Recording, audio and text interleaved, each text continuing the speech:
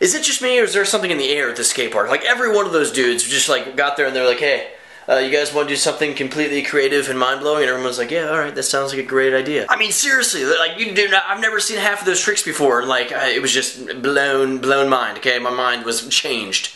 But this is footage off Billy Hanning's channel. Um, I've, featured his channel on my channel before. I'm saying channel way too many times. But this is his uh, brother Shawn Hanning and their friends, and wow, they shred. My gosh, if you want to see more um, from Billy, hit that right there. That'll take you to his channel, and uh, you will like what you see, guys. I do daily videos, so hit that right there to subscribe to me if you're not already, uh, but mainly go to Billy's channel. My freaking gosh. Say that with me. My, no, I'm not going to repeat myself, but I will show you a cat face right?